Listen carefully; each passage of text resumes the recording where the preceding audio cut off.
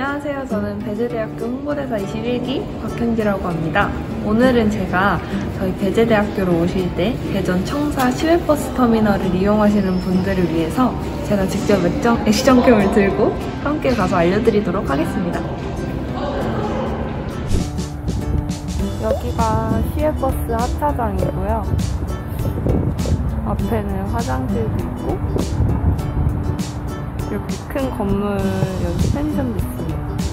여기서 내리셔서 이 큰 사거리 방면으로 좀 걸은 다음에 코너에서 우회전 하시면 바로 버스 정류장이 나와요. 지금 살짝 부끄러운데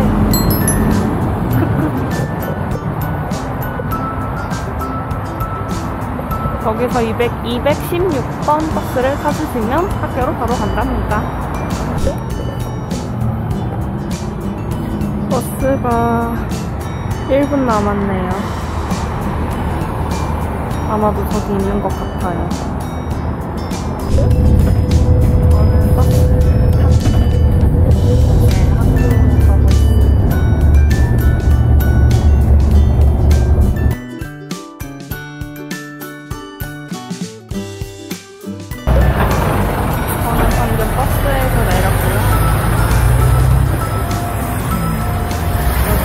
정류장에서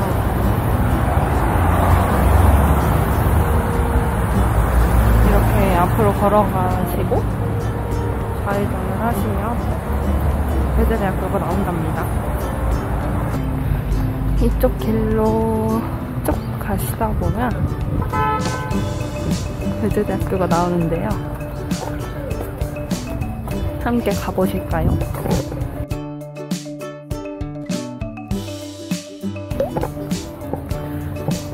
이렇게 저희 학교에 왔는데요.